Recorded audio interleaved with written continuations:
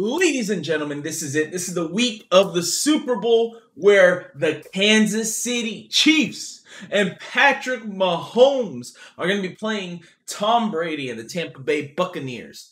So, let's go over the matchup a little bit. I mean, uh, quarterback, come on, let's just go down the list. Who's got the better quarterback? I mean, we got the MVP, Super Bowl MVP, Patrick Mahomes, only 25 years old. I mean, you can't beat Mahomes, boy. I don't care. Tom Brady threw three picks last week. You know what Mahomes didn't do? Throw three picks. Because we got Mahomes, boy. Oh my God, I'm so excited to see Mahomes destroy the Buccaneers. Running back, give it to Tampa Bay. I mean, Leonard Fournette and Rojo are much more efficient than Clyde Edwards-Helaire and uh, Le'Veon Bell.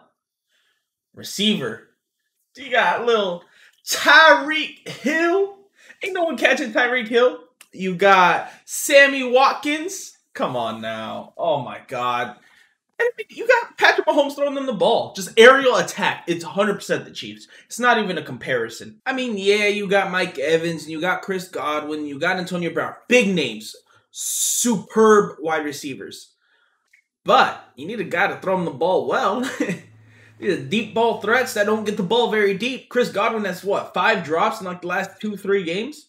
He's not playing well. Antonio Brown has a bum knee. Mike Evans hasn't been able to get those deep throws that he needs. So yeah, I'm gonna go with the, the Chiefs on this one. Then, oh, and on top of that, Scotty Miller trying to talk some trash to my boy Tyreek Hill, saying, "Oh yeah, he's he's quick, but he's not the fastest I am." Man, get the hell out of here. Tyreek Hill's the fastest player in the league. That's that is no question about it. Tight end. Uh, what you gonna say, Gronk? Man, Gronk is out there like Frankenstein. He's he's stiff. He's stiff as a board. Stiff as a board. I don't know what to tell you. Travis Kelce though, he's smooth. He had a little wiggle to him. Come on now, Travis Kelce gets that. Offensive line. Both teams have good offensive lines, honestly. So actually, I would consider that a wash. They both have very good offensive lines. Now we go over to the defensive side of the ball. And I'm not going to lie, Tampa Bay, they have a much better defense. D line, they got some tanks. Vita Vea and Ndamukong Suh, two 350 pound monstrosities that'll stop the run. Linebacker, they got Devin White and uh, Lavonte David. Great in coverage, great stopping the run. They're fast, they flow to the ball. Again, goes to the cheat, uh, goes to the Buccaneers. Excuse me. And I can't, I can't go without saying Shaq Barrett. Come on now, Shaq Barrett's an absolute weapon coming off the edge. And then the secondary. So Tampa Bay's secondary is a little suspect. I don't know how they can match up with the Chiefs receivers. But they both have great DBs. I would still give the edge to the Buccaneers just because uh, Sean Murphy Bunting and those two safeties are much better. While I would only give the Chiefs really Tyrann Mathieu.